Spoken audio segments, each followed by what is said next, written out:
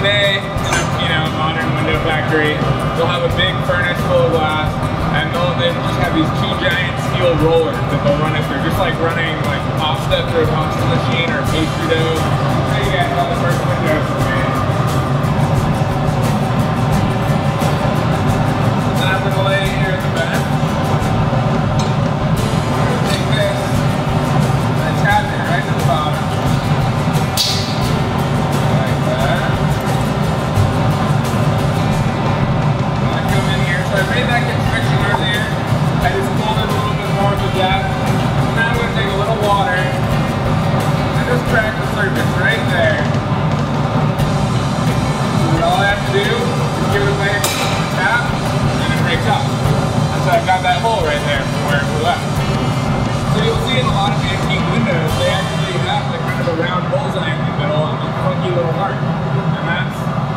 Right here, what we call the glass blowing leather blacksmithing classes. I think those have the most amount of students. We have a lot of beginning classes.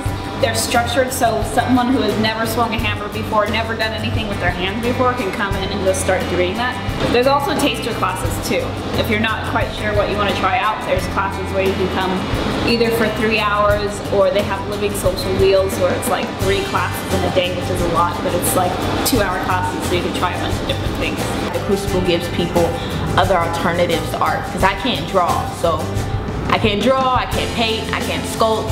So it's kind of like if I wanted to be an artist, I was kind of limited to those until I found the Crucible. There's classes here that you won't get a chance to try anywhere else. Like there's not too many places where you can do stone carving. You can cast your own bronzes here and there's not too many places where you can go and actually pour the bronze. We have kids as young as 12. We have um, people in their 70s who could come in and, and use a smithy. So there is a wide demographic.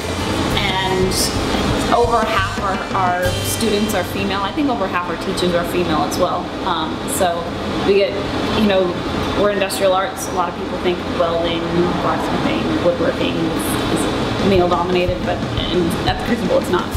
Like if you went to a city not as popular as Oakland, you might not have the amount of diversity with kids coming in. Even though it's located in Oakland, we have students coming in from BART from San Rafael or San Francisco or Menlo Park. The parents who come in, they're the main ones like, can I take a tour? Can I show my kids around? Like they, they're the ones who really want their kids to get into it. Kids don't have much of a surprise factor, but they come out with some of the greatest pieces of artwork I've ever seen. Um, but they're also calmer about it, whereas the adults, they come in and they're like, I didn't even know you can make stuff like this. Come take a class. It's a lot of fun. It really is.